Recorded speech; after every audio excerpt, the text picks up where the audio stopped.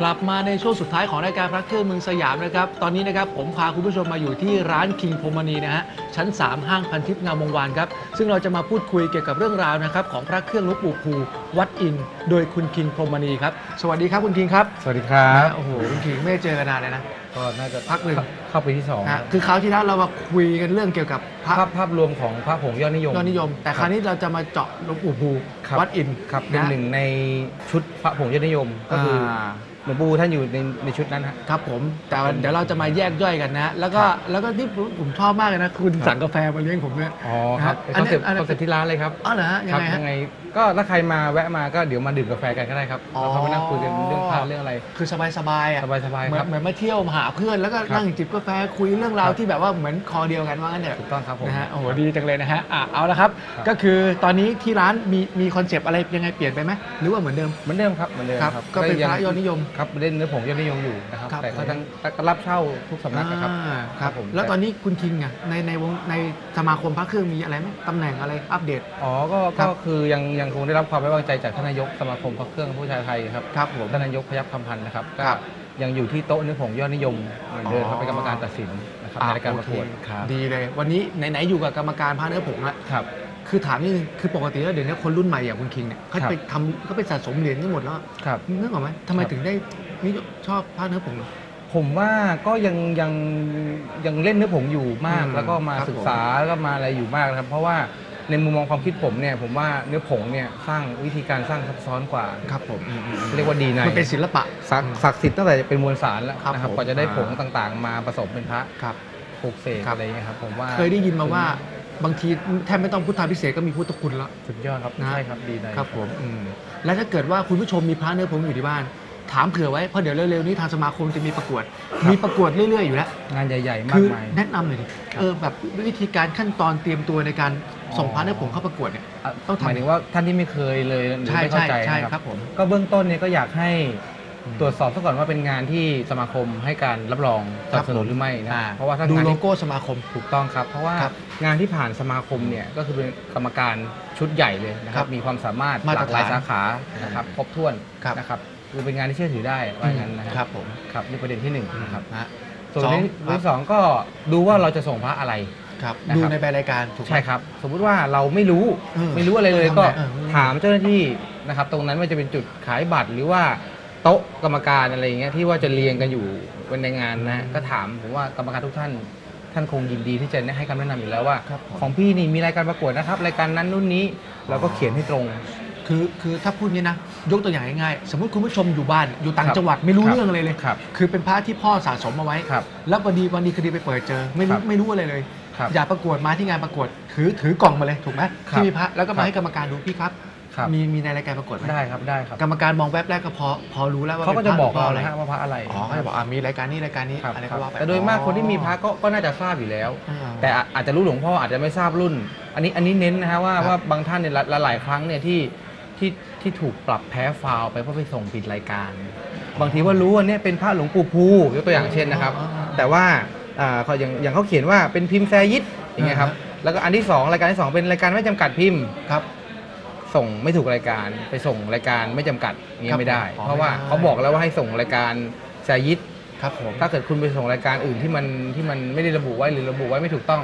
ก็จะไม่ได้รับการพิจารณาก็เหมือนกับเสียโอกาสไปเลยซึ่งจริงๆแล้วเป็นพระแท้แต่ก็ไม่ได้รับแท้การบางทีพิจรณสวยกว่าด้วยครับเปล่าเปล่าเออมีมีต้องดูให้ดีนะเพราะว่ามันเป็นความมันใช่เป็นครับความรู้ใหม่นะใช่ครับบางทีเพราะว่าไม่ทันคิดนะใช่เพราะว่าบางบางทีผมเห็นแล้วว่าอะเขาบอกแล้วว่าสมมติอย่างองค์เนี้ยบอกว่าเป็นพิมพ์เจ็ดชั้นหูติ่งครับนะครับก็พอไปเห็นรายการนี้ไม่ส่งครับ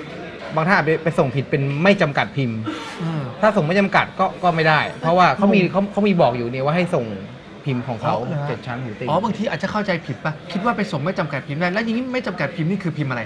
ก็บางทีเนี่ยพระหลวงปู่ภูท่านมีมากมายหลายพิมพ์เป็นสิบกว่าพิมพ์ผมเข้าใจแล้ว แต่ครั้นี้ว่าเอ่องานเนี้ยมีให้แค่สี่รายการ ครับผม ก็คือพิมพ์แซยิดอ่าผมพิมพ์เข้าใจแปดชั้นอ๋อ แขนกลมแปดชั้นแขนต่อที่เหลือคือให้มารวมมานี่พิมพ์อะไรเข้าใจครับเข้าใจ ก็ต้องให้ดูให้ดีให้ตรงแต่ถ้ากันเกิดพิมพ์ที่คุณมีและเป็นชื่อตรงอยู่ในใบรายการประกวดต้องส่งคุณต้องส่งตามนั้น ตามชื่อนั้น ครับถ้าไปส่งจะไม่จำกัดก็จะถูกปรับ คือบางทีอาจจะไปหัวหมอไงเห็นพระตัวเองสวยไปส่งไม่จำกัดพิมพ์ ถูกไหมสุดยอด เได้รางวัลผมไม่กล้าไม่ได้พูดใช่ครับไม่ได้ใช่ครับไม่ได้อัดพูดด้วยตรงๆเป็นความรู้อ๋อไม่ได้ครับไม่ได้ครับไม่จได้ริงๆแล้วบางคนเขาอาจจะนี่หลีกเลี่ยงไปส่งรายการนั้นแพ้ฟาวคือสิ่งที่คุณคุณคิงพูดเนี่ยครับมันเป็นมันเป็นมาตรฐานของสมาคมนะคุณผู้ชครัมบครับสมมตินะครับสมมตินะครับครับ ถ้าเกิดว่าคนจะพูดถึงในแง่ไม่ดี ครับ เกิดคนรู้กันเองเอามาส่งก็ครับคืออาจจะได้รางวัลไป แต่ครันี่บ ไม่ได้คือผิดรายการคือผิดเลยใช่ครับคือไม่สนคุณเป็นใครและโดยนึกออกไหมากจะสวยด้วย เออเพราะเขาคิดว่าเขาต้องได้รางวัลไงเออเพราะครับไม่จำกัดพิมพ์เขามั่นใจอยู่ใช่แล้วคต้รัอบงได้ ถ้าคุณส่งรายการคุณคุณชนะอยู่แล้วอะไรเงี้ยเอออะไร ดันดันไปส่งแบบนั้นอะไรเงี้ยก็เออปรับแพ้พาไป เออไม่ได้ไม่อีกได้เรื่องหนึ่งก็คือให้ปราศจากสิ่งห่อหุ้ม ครับบางผมท่านเนี่ยมาจากต่างจังหวัดอย่างที่ท่านพิธีกรพูดนะฮะอ่า ก็ก็ไม่รู้จริงบางทีก็มาทั้งพลาสติกมาไม่ได้เลย ไม่ได้นะครับ เพราะว่าต้องถอดออกเราไม่มีเจ้าหน้าที่ที่จะมาบริการตรงนั้นเออ เพราะบางทีเนี่ยเป็นเรื่องของถึงมีก็ไม่เอาอะ มันแกะเผื่อไปแกะรุ่นแตกอะไรหักเสียหายมีประเด็นอีก ใช่ครับทีนี้งี้คุณกินถามหน่อยสมมติคนที่พอรู้อย่างเงี้ยนะครับอยากจะเก็บผ้าเดิมๆเลยแบบไม่แบบเหมือนกับไม่ใส่กรอบห่อหุ้มอะไรเลยครับเผื่อจะเดินสายประกวดอย่างพระอย่างพระผู้ภาษาชาวบ้านนะพระครับล้นๆอย่างเงี้ยครับ เนื้อผงเก็บยังไง ถึงจะไม่ชำรุด ก็อาจจะใส่เก็บไปเป็นสิบซองปีซองซิปซะก่อนรอบหนึ่งครับอ๋อซองซิปคือที่ซองนุ่มครับผมๆแล้วก็หากล่องที่อาจจะใหญ่กว่าท่านสักเล็กสักน้อยประมาณหนึ่งนะครับอ่าแล้วอย่าไปใส่หลายองค์ครับผมใส่เป็นกล่องเป็นองค์ทีละองค์ดีกว่าทีละองค์ไปใช่ครับ แล้วต้องช่วยได้เก็บในที่ยังไงอย่าในที่ร้อนที่เย็นที่อะไรไม่ครับไม่มีอะไรเนื้อผงรักษาง่ายครับครับอ๋อคืออย่าอย่าอย่าให้มีอยู่ซ้อนกันเดี๋ยวเวลากดทับจะแตกอ๋อห่วงเรื่องชำรุด หักอย่างเดียว ครับ ส่วนเรื่องสภาพผิวสภาพอะไรเราก็อย่าเอามือไปถูให้มันอ่าดำหรือถลอกปอกเปลือกอ่ารักษาง่ายครับไม่เหมือนเหรียญลมดำอ่าเหรียญลมดำนี่แค่จับก็ต้องระวังไปแล้วครับเหรียญผิวผิวไฟผิวทองแดงเนี่ยแค่ครับผ่านอากาศก็มีปัญหาแล้วราคาเปลี่ยนแต่เนื้อผงเนื้อผงไม่เป็นไรเนื้อดินไม่เป็นหรอกครับ ครับผมเพียงแต่ว่าบางทีอาจจะมีร่องรอย อาจจะไปอย่าไปแต่งไปขูดไปอะไรให้มันต้ดูงระวังสะอาดไม่ต้องยุ่ง ไม่ต้องครับบางทีบางทีเดิมในบางท่านเป็นก็เป็นนะครับก็คือว่าอ่า ซื้อมาเนี่ยพระอัดตามซอกตามอะไรเขาเรียกว่าผิวหิ้งหรือขี้ยุง ครับ ครับไปเอาภูการปัดเลยอย่าไปทำครับ เพราะว่าอ๋อ ไอความเป็นธรรมชาติตรงนั้นเนี่ยอืม ผมว่ามันคลาสสิกแล้วก็ทำให้มูลค่าการสะสมเนี่ยครับ มีราคาด้วย หรือบางทีมันคอาจจะเป็นมวลสารแบบครับผุดขึ้นมาใช่ครับเราก็ไม่รู้นะใช่ครับนะใช่ฮะถูกต้องก็ครับคือแนะนำว่าไม่ต้องไปยุ่งเลยครับใช่ครับใช่ครับ ปล่อยไว้เฉยๆเลย ใช่ครับ นะครับแล้วการประกวดคือหลังจากหลังจากมาส่งประกวดแล้ว แล้วถ้าเกิดได้รางวัลไปแล้วเนี่ยมันช่วยอะไรได้ไหมไอ้ใบการันตีเนี่ยมันช่วยให้พักแบบเปลี่ยนไปเลยไหม ก็เบื้องต้นก็อย่างอืมอย่างที่เรียนไปนะคือถ้าเป็นเป็นงานของสมาคมเนี่ยนะครับปัจจุบันเนี้ยต้องยอมอืมรับจริง ๆ ว่าครับลูกค้าทั้งชาวไทยและชาวต่างชาติครับนะครับ เชื่อถือนะครับ แล้วคก็รับราคาเนี่ยอัพจริง ๆ ครับอ่าขออนุญาตพูดอย่างนี้นะคครัรับบ ผม เพราะว่าบางครั้งเนี่ยอย่างน้องๆ ผมที่ขายผ้าไปเนี่ยพูดขนาดว่าพี่ ลูกค้าบอกเลยว่าเนี่ย ถ้าส่งประกวดแล้วติดรางวัลเนี่ยจะเช่าอะไรเงี้ยครับผมเราก็ต้องบอกว่าเอาตรงนั้นสงวนสิทธิ์ก็แล้วแต่ละกันมันแล้วก็สร้างความมั่นใจครับ เราครับขายผ้าแท้ไปให้เขาไปส่งดูนะครับอ่าฮะก็ทุกอย่างก็เป็นไปตามระบบครับนะครับผมอ่าเออถ้เกิดมาตรฐานของใช่สมาคมตรฐนไปครับก็ครับคือว่าผมแต่บางองค์เนี่ยที่ที่บางครั้งเราว่างแล้วก็งานใหญ่งานอะไรเราก็ช่วยช่วยกันส่งไปอะไรเงี้ยก็มีติดรางวัลมาก็ เห็นได้ชัดครับว่ามีผลกับการตัดสินใจลูกค้ามาก ครับผมงานที่อ่สมาคมเพื่อรับรองครับผมครับอ่าก็เป็นความรู้ไว้นะคุณผู้ชมที่มีพระอยู่สนใจอยากจะประกวดมาส่งครับได้เลยครับ นะฮะลองดูมันมันครับกับเหมือนกับเป็นสีสันนะถูกต้องแล้วก็ครับทำให้เราได้มาพบเจอใช่ เพื่อนใหม่ ใช่ครับบางทีก็อาจจะมาอาจจะมีการได้เช่าด้วยได้ปล่อยด้วยอ่า นนะครับมามาเถอะมีการแลกกันอะไรกันเยอะแยะสนุกสนานครับๆครับผมอีกที่สำคัญก็เป็นงานกุศลซะอืม99%ใช่เพราะรายได้อะป๋าเขาเอาไปช่วยอะไรอยู่แล้วครับครับที่เรารู้กันเนี่ยงานส่วนใหญ่ที่ทางสมาคมเราช่วยเหลือไปเนี่ยสาธารณประโยชน์ปีหนึ่งปีหนึ่งหลายร้อยล้านบาทอืมนะครับก็มาจากเนี่ยครับคนที่รักชอบพระถูกต้องเหมืนนครับอย่างวันนี้ที่มาก็มีงานแถลงข่าวของของอะไรฮะนักเรียนในร้อยตำรวจรุ่นที่ 34ครับนะครับผมอ่าครับก็ เพิ่งจะแถลงข่าวเสร็จไปเดี๋ยวจะจัดงานประกวดครับอะเร็วๆนี้สลมาองคดูมก็อนุญาตรับรองไปอ่านะคเผื่รัอบมีพัดงานใหญ่มีอยู่แล้วพระเนื้อผงครับ โอ้คลาสสิกนะมีนี่ก็ไปพบเจอกันได้ครับแล้วแล้วตอนนี้คุณคุณคิงคือตอนนี้นอกจากเป็นกรรมการมีทำอะไรอีกไหม อ๋อตอนนี้ก็มีช่วยงานสมาคมอะครับครับผม ครับ ตอนนี้ก็ท่านนายกสมาคมท่านก็ ได้สร้างหนังเรื่องหนึ่งอ๋ออ๋อยังไงนี่คุณเล่าประหลัดชูครับผมเออฝากติดตามด้วยนะครับอ่าใช่ ภาพยนตร์ครับผม เรื่อง 400 นักรบขุนรองประหลัดชู เล่นด้วยไหมคุณเล่นด้วยไหม ก็ได้รับได้รับเกียรติให้อ๋อให้ร่วมแสดงนะฮะ เป็นมงคลชีวิตสูงสุดเลย เออคือส่วนใหญ่สุดยอดสุดยอดก็จะมีเนี่ยปะพี่ต้อย ครับนั่นท่านรองนายกอ่า สมาคมของเรานะคครัรับ บผมแล้วก็มีนักแสดง เนี่ยก็นักแสดงที่มีชื่อเสียงเข้ามาเล่นมากหลายมาคยนอครับยู่ครับมากผมมายครับเป็นร้อยคนครับอ่าที่นักนักแสดงที่มีชื่อเสียงอยู่แล้วนะครับ แล้วก็พี่ๆน้องๆในศูนย์พระนะคครัรับบผมซึ่งก็ได้รับเกียรติให้ร่วมแสดงครับนะผมก็ก็เป็นหนังเป็นประเชิดสบชูการณ์ประวัใหม่ตินะศาสตร์ของครับนักรบบรรพบุรุษไทยเราจริงๆนะครับเป็นหนังที่เดี๋ยวติดตามกันที่ตอนนี้อยู่ในระหว่างถ่ายทำอยู่ครับยังถ่ายครับผมทำอยู่อะมาที่นี่เลยครับนะฮะพระเครื่องพระผงหลวงปู่ ภูวัดอินทครัรบวิหารผมบางขุนพรหมกรุงเทพประวัติท่านเป็นไงคร่าวๆพี่เผื่อคนไม่รู้จักประวัติหลวงเอาปู่คร่าวๆนะครับเพอ่ราะแต่เล่านี่จะยาวมากอะเอาคร่าวๆเอสั้นๆคร่าวๆเลยก็คือท่านก็เป็นลูกศิษย์จะเรียกว่าลูกศิษย์ก็ได้หรือเรียกว่าพระที่อยู่ในยุคของสมเด็จพระจันทร์โตท่านอ๋อเข้าใจง่าย ๆเลยนะครับผมครับวัดอินก็คือจะอยู่ตรงข้างๆกับวัดบางขุนพรหมครับนะครับที่ครับมีพระหลวงพ่อโตยืนองค์องค์ใหใหญ่ญ่ๆแล้วมีบ่อน้ำมนต์บาทที่สมเด็จโตท่านไปทำพิใช่ธีครับก็เป็นวัดที่สมเด็จพระจันทร์โตท่านมรณภาพด้วยครับผมนะครับอืมแล้วท่านเองก็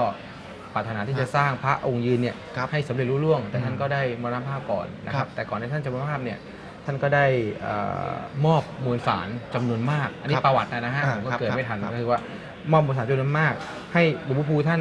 สร้างพระ เพื่อแจกชาวบ้านที่มาช่วยเหลือให้สร้างพระองค์ใหญ่ให้นี่ยแล้วเสร็จให้แล้วเสร็จครับผมนะครับซึ่งสุดท้ายก็หลวงพ่อก็ทำทำยาวนานมากครับสร้างพระไปแจกไปอะไรไปเนี่ยสุดท้ายก็ท่านมรณภาพอีกรูปหนึ่งครับมามาเสร็จสิ้นในยุคของเอ่อพระครูสังอ๋อต่อจากต่อจากภูภูครับเพครับราะฉะนั้นเนี่ยผมเพราะฉะนั้นมวลสารก็เป็นกลุ่มพุทธคุณกับธรรมสมเด็จถูกไหมใช่ถูกต้องครับคือว่าอันนี้ชัดเจนว่าเอ่อมีประวัติบันทึกชัดเจนนะครับว่าครับมวลสารเป็นผงของวัดระฆังอืมอืมเยอะ เยอะครับมากๆครับ แล้วจากประสบการณ์ส่องดูเป็นไง เหมือนไหม ดูจากพิจารณาจากเนี่ยเอ่อของจะวัดไม่เหมือนไม่เหมือนหมายถึงว่าเทียบกับของสมเด็จใช่ไหมครับ อ่าเนื้อหาใช่ฮะ เนื้อหามวลผมสารว่า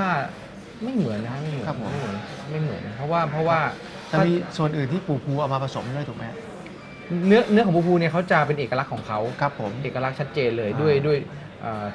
พูดถึงเนื้อก่อนเนี่ยผมว่าอืมความความจัดด้วยอายุห่างกันหลายสิบปี อ่าก็ก็ไม่เหมือนอยู่แล้วอ๋อแล้วแล้วไม่ได้ถูกบรรจุกุครับอะครับเทียบครับเทียบกับวัดวัดเกศชโยพระเขาจะแต่งครับมีการขัดแต่งนั่นนู่นนี่ใช่ไหมครับเพราะฉะนั้นเนี่ยอันนี้ก็จะแตกต่างชัดเจน ครับ ส่วนถ้าวัดระฆังเนี่ยมวลสารก็จะหยาบ อืม ก็ห่างออกไปนะคครัรับบส่วนพระขุนพรหมเนี่ยมีการบรรจุกุมีขี้กุอะไรอย่างเงี้ยก็ไม่ค่อยเหมือนครับ อืม แต่หลวงพ่อภูเนี่ยเขาจะออกขาวอืมครับ แล้วก็เนื้อเขาจะละเอียด ละเอียดแล้วก็คจะรับไม่ค่อยไม่ค่อยจัดมาก ครับผมอ่าครับเอาละครับอะมาดูเลยขออนุญาตนะฮะนี่ครับนี่คือรุ่นอะไรฮะอันนี้เขาเรียกว่าสมเด็จพิมพ์ไซยิดแขนหักศอก ครับ เป็นเขาเรียกว่านักสะสมก็ต้องการครอบครองมากที่สุด อืมแพงที่สุดในบรรดาพระของหลวงปู่ภูคือพิมพ์นี้คครัรับ บ ปัจจุบันนี้หลักหลักในค่านิยม ค่านิยมก็4ี่ห้าแสนนะครับ ครับผมเช่าเช่าเข้ามาเนี่ย ผมเคยซื้อตั้งแต่เจ็ดแปดหมื่นจนถึง4ี่แสนกว่าบาทครับ5แสนผมกว่าแล้วบาทแต่ความอสวยที่งามความสวยงามถูกต้องอืม ถ้าขนาดคือชำรุดชำรุดหักสองท่อนก็ผมก็เคยเช่ามาสี่ห้าหมื่นนะครับอืมเหรอฮะ ครับครับองค์นี้ผม องค์นี้ก็ครับสามแสนกว่าบาทครับอ่าอยู่ในเกณฑ์พอสวยไม่ได้สวยมากครับแบบนี้สักกี่เปอร์เซ็นต์ความสวยงามในสายตากรรมการ อ่าองค์นี้ ผมว่าสัก 85 ครับครับผม 85เปอร์เซ็นต์90เปอร์เซ็นต์ ถ้าระดับเนี้ยส่งประกวดมีโอกาสติดรางวัล เอ่ออย่างนี้ครับอธิบายอย่างนี้ว่าเรื่องของการติดรางวัลเนี่ย ตอบตอบเรื่องที่1ที่2ที่3ที่4ยากอืมเพราะว่ามันต้องไปขึ้นอยู่กับว่าวันนั้นงานนั้นน่ะมีมีคนมาส่งหรือไม่เข้าใจบางครั้งอาจจะติดที่หนึ่งเออภาพที่ติดที่หนึ่งได้คือหนึ่งต้องไม่ชำรุด ครับผมนะครับอืมอาจจะติดที่หนึ่งไม่แต่งไม่อะไร หรืออาจจะติดที่ 4 ก็ได้ถ้าพระครับเยอะอืมแล้วเขามากันครบสวยๆครัเท่าบนั้นผมหรืออาจจะไม่ติดเลยก็สุดแล้วแต่อ่าแต่ถ้ากรรมการรับเข้าไปก็ถืครัอบว่ามีชัยไปกว่าครึ่งอ่าครับเพราะฉะนั้นคนขยันก็คือต้องขยันประกวดหน่อยเผื่อมีโอกาสติดครับใช่ไหมผมแต่นี่อันนี้ก็อยู่อยู่ในหนึ่งในสี่แน่นอนครับครับสผมภาพนี้เออสวยนะเนี่ยครับนี่ขนาดนี่ขนาด 85%นะครับคมครับชัดเลยนะคมชัดครับโอ้โหที่ที่ที่ที่สิบห้าเปอร์เซ็นที่หายไปเนี่ยองค์นี้ก็อาจจะถูกสัมผัสมาบ้างทำให้ครับเนื้อเขาซึ้งเขาจัดเออซึ่งปู่ภูเนี่ย นักสะสมจะให้ให้ให้มูลค่าการสะสมสูงเนี่ยพระสภาพผิวขาวครับไม่ผ่านการต้ใช้องขาวเลยใช่ไหมประมาณนี้ครับครับอะขออนุญาตนะฮะครับนี่นี่ต้องแบบนี้เลยครับอืมต่างเลยนะต่างเลยครับะถ้าอันนี้นี่ถ้าถ้าถ้าผิวนี่ให้ร้อยเปอร์เซ็นต์อืมนะครับคือว่าได้มายังไงก็อยู่สแต่ภาพนี่นั้นเขาเก็บดีอ่าครับเก็บดีครับ ครับเอ่ออย่างนี้ก็ที่หนึ่งสบายครับนะผมเออแล้วก็พิมพ์ก็คมชัด เวลาสังเกตพระสวยไม่สวยก็ให้ไล่ตั้งแต่เส้นสายซุ้มที่ครอบอ๋อนะครับเนี่ยนะฮะเส้นซุ้มอ่าเสียน ครับนะครับอ่าแล้วก็ดูที่แขนฐานนะครับต้องดูแล้พวกเส้นเหล่านี้เป็นครัสำบคัญก็เส้นไม่ล้มก็คือสวยง่ายมากเลยครับอืมที่สองก็คือผิวครับแล้วก็ดูอุดซ่อมอะไรกันให้เรียบร้อยนี่นะครับนี่อันนี้เป็นเทคนิคการการตัวตัดสินของกรรมการเป็นเป็นครับดูเส้นสายก่อนใช่แล้วคค่รัอบยดูผิวครับถูกไหมฮะอันดับแรกคือพี่นาพิมพ์ทรงก่อนว่าอะถูกต้องพิมพ์ทรงหรือไม่ครับผมประเด็นพอที่หแท้นึ่งปุ๊บแท้เรียบร้อยปุ๊บเราก็มาไล่รายละเอียดว่า สมมติเรามองแวบเดียวเนี่ยพอกันเลยสององค์เนี้ยเออ คราวนี้ก็ต้องกรรมการก็ต้องสี่ห้าท่านที่อยู่ด้วยกันเนี่ยต้องช่วยกันแล้วเวว่าลาดูนี่ไงเอาเอาเทียบกันเลยไหมเอามาวางคู่กันแล้วมองอย่างนี้เลยไหมอ่า ถ้าปัจจุบันนี้ยังไม่ค่อยมีขนาดนั้นเพราะส่วนใหญ่จะห่าง อ๋อคือแต่ถ้าเกิดเจอที่สูสีก็ก็ต้ต้อองงอย่างทำอย่างนั้นั้นนแล้วทุกท่านคือวางเทียบก็จะมาโหวตกันอ๋อสนุกครับอ๋อกรรมการก็สนุกครับก็มานั่งดู ผมว่าอันนั้นคุณว่าอันนี้อะไรเงี้ยแล้วก็ก็อะพี่อันเนี้ยแขนไม่เต็มอ่าเออใช่เออนี่แขนเต็มกว่าเออก็ต้องเป็นที่สองไปก็เหมือนมาถกกันมาถกกันสนุกครับเออก็เป็นเป็นไปตามข้อเที่จริงฮะอ่าเป็นเอกฉันท์อ่าเป็นไปตามมาตรฐานเออมาตรฐานนะฮะครับผมอะตอบองค์ต่อไปฮะเนี่ย อันนี้ก็เป็นพิมพ์ที่นิยมแล้วก็แพงเป็นอันดับต้นๆของท่านก็คือเรียกว่า 8 ชั้นแขนหักศอกครับครับครับอันนี้ก็มูลค่าการสะสมก็เหมือนกันนะฮะอยู่ที่ 7 8 0 0 0 0ถึง3 0 0 0 0 0อยู่ที่ความสวยอืม ครับ เอ๊ะอย่างปู่ภูเนี่ยถ้าพูดถึงปู่ภูนี่ท่านเก่งเรื่องอะไร ก็เหมือนที่เดียวท่านก็คือครอบจักรวาลนะฮะอ๋อ ถ้าให้พูดแบบจริงๆ ผมเองเนี่ยก็อารัธนาใช้ครับผมครับครูด้วยนะครับ แล้วก็ พระในตระกูลสมเด็จทั้งหมดเนี่ยนะฮะอืมผมก็ชอบใช้ผมว่าเมตตามหานิยมเนี่ยสุดยอดครับผม แขวนองค์เดียวได้เลยครับครับ นะครับ แล้วของเล่นแบบปัจจุบันนี้เป็นไง ด้วยด้วยด้วยหลวงหลวงพ่อพูเนี่ยอย่างที่ที่ที่เรียนไปตอนแรกก็คือว่าพิมพ์ของท่านเนี่ยเป็นเอกลักษณ์นะครับ เส้นสายต่างๆ เนี่ยค่อนข้างชัดเจน นะครับผมว่าพิจารณาง่ายมากอืมหมายถึงว่าเก๊ผมว่ายังยังยังครับทำได้ไม่ดีเท่าที่ควร เคยเห็นเก้งานดีๆไหมเคยครับเคยครับสมัยเรียนพระแรกๆก็ก็สับสน แต่เพราะว่าว่าเมื่อพอเราเข้าใจทั้งหมดแล้วเนี่ยมันมันแยกได้อ๋อมากกว่าพระคือสมเด็จบางวัด คือเก้เนี่ยสิ่งที่ไม่ได้นี่คืออะไรเนื้อหาหรือความคมชัดหรืออะไรเอ่อหลวงพ่อพูเนี่ยนะฮะเอ่อความคมชัดของท่านพิมพ์นะครับ ความคมชัดแล้วก็สองคือตำหนิพิมพ์ อ๋อหลวงพ่อพูเป็นพระที่เชื่อไหมครับว่าเราสามารถพิจารณาได้จากตำหนิพิมพ์จริงๆยกเว้นว่าบางองค์ที่กดแล้วไม่ติดครับอย่างเงี้ยผมคือเราก็ดูอคืย่าองหมายอื่นถึงว่าได้กดจากพิมพ์เดิมแหละเพียงแต่ว่าอาจจะถูกกดมาเยอะแล้วมันเป็นมันไปขวางครับครับครับผมว่าอาจจะไปขวางตำหนิอะไรอยู่ถูกไหมผมว่าน่าจะเป็นในลยติดไม่ชัดหรือเปล่าน่าจะเป็นในบล็อกด้วยบางองค์อ่าครับ ในบล็อกครับครับอย่างเงี้ยพิมพ์แซยิดเนะครับ อ่าใต้ใต้ไหนฮะ ใต้ใต้รักแร้เขาก็จะมีเส้นแตกอ๋อเนี่ยเหรอฮะในตรงช่วงเนี้ยฮะก็จะมี อ๋อครับ เป็นเกือบทุกองค์ แต่ครับถามว่าองค์ที่ไม่มีมีไหมมี อืม แต่เราก็พิจารณาอย่างอื่น ได้ครับ จริงๆแล้วไม่ใช่จุดไม่ใช่จุดว่ามันจะต้องแท้ต้องมีอะไรไม่ใช่ครับหมายถึงว่าถ้ามีมันก็ดี สังเกตง่ายหน่อย สังเกตง่ายหน่อยแล้วก็แล้วก็เนื้อหาเส้นสายเขาจะคมพระพระไม่แท้ขององค์หลวงพ่อภูก็จะมีอยู่ 2 ประเภทครับ นะครับประเภทที่หนึ่งคือถอดอืมเอาของแท้ไปถอด อ่าครับครับ ซึ่งแน่นอนคุณไม่มีความคมชัดหดด้วย อ่าหดด้วยเล็กด้วยอะไรเสร็จเลยนะครับ อืม อันที่สองคือว่าขึ้นพิมพ์ใหม่ แกะ แกะพิมพ์ใหม่ ซึ่งอัอานจนี้จะจะเป็นคมเป็นเลเซอร์เนี่ยถูกไหมไปแกะเลียนแบบปะเออเออผมอยากรู้ไม่แกะเคพิมพ์ยใหม่ไปได้สัมไงผัส หรือว่าเขาเอาต้นแบบไปแล้วแกะใหม่ ผมว่าน่าจะอย่างนั้นนะฮะโอ้โหเออคือคือเราเราก็ขอขออนุญาตเลยเขาคือไม่ไม่ทราบว่าครับทำยังไง ผมเข้าใจอ่าแต่คือครับผมพระที่ที่ที่ที่เห็นเก๊อีกแบบหนึงคือแบบที่ขึ้นพิมพ์มาใหม่เลยเนี่ยอ่าเขาคมชัดคมเลยอ่าคมชัด เพราะฉะนั้นเนี่ยถ้าคนที่ไม่เคยเห็นของแท้เห็นแบบแรกมันจะโดนเลยแท้โดนเลยอ่ถ้ามันรับคม ครับแต่ถ้าเกิดว่าถ้าเกิดว่าคนที่เคยเห็นซื้อบ่อยๆเห็นแล้วรู้เลยว่าวงแขนผิด เช่นว่าแขนวงเขาจะเป็นอย่างนี้ ถ้าแท้นะอ่า เออแต่ถ้าคนอาจจะเพี้ยนไปอีกทางอ๋อเข้าใจยเข้ากใจ ตัวอย่างเช่นนะครับ อ่าพิมพ์พิมพ์พิมพ์ทรงผมว่ายังพิมพ์ยังทรง ไม่ได้ อืมอืมอืม แล้วข้างล่างก็ยังมีพิมพ์อีกมากมายอืมนะครับ อย่างอันนี้ครับผมบางคนที่ชอบห้อยพระคล้องพระหลายๆองค์เนี่ยอืมก็สามารถที่จะเลือกเอาพิมพ์เล็กๆเนี่ยอ่าไปจัดเข้าชุดของท่านได้ครับผมอย่างนี้เขาเรียกว่าสมาธิห้าเหลี่ยมนี่ครับนะครับเป็นพิมพ์ที่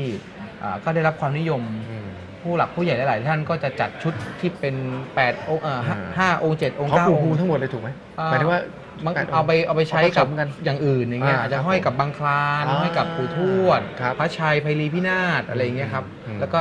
มีหลวงพ่อภูเป็นชุดเล็กเข้าไปเพราะก็ยังเป็นเนื้อผงเข้าไปครับผมอะไรอย่างเงี้ยครับขนาดก็น่าใช้นะน่าใช้น่าใช้ครับผมนะองค์นี้เป็นไงมีจุดสังเกตอะไรบ้างฮะอันนี้ก็ดูที่พิมพ์ทรงนะครับแล้วก็หน้าตาเขาอะนะครับครับครับแล้วก็ตำหนิพิมพ์ต่างๆ ก็จะชัดเจนอยู่แล้วครับอ่าต้องมาศึกษาสวยงนะ ก็ยังไงก็มาถามได้ครับเออผมไม่จำเป็นต้องมาอืมซื้อขายกันหรอกปิดท้ายครับงั้นที่ปิดบอกท้ายคุณเลี้ยงคิกามแฟฝากมาเถอะ ฝากหน่อยว่า คุณผู้ชมสนใจเนี่ยอยากจะมาดูขครัอบ ความรู้เนี่ยต้องครับนะครับยังไงฮะก็คือเบื้องต้นในมาเนี่ยครับไม่ต้องไม่ต้องไม่ต้องมาคิดว่าต้องมาซื้อมาขายกัน ครับ มี ก็มาให้ผมดูได้นะครับ ไม่ว่าคุณจะซื้อใครมามาดูมาสอบถามกันได้ครับผม นะครับมาให้ความรู้กันผมเลี้ยงกาแฟเออมาเถอะครับเออเนี่ยเลี้ยงกาแฟครับร้านน้องเอกนี่กาแฟสุดยอดอร่อยมากนี่ก็ร้านของลูกป๋าใช่ไหมครับร้านน้องเอกทำกครับน้องเอกาแฟคำพันธ์นะครับ เอกเขาก็ทำเกี่ยวกับเขาก็สะสม เขาไปเรียนเป็นบาริสต้ามาเลยนะครับ แล้วก็ฮะกาแฟเขาเจ๋งนะครับอ่าผมผมท้าเลยครับเพราะผมเองเนี่ยทานกาแฟแบรนด์ดังๆ เยอะแยะมากมายนะครับเป็นคนชอบดื่มกาแฟ ครับผม ร้านน้องเอกนี่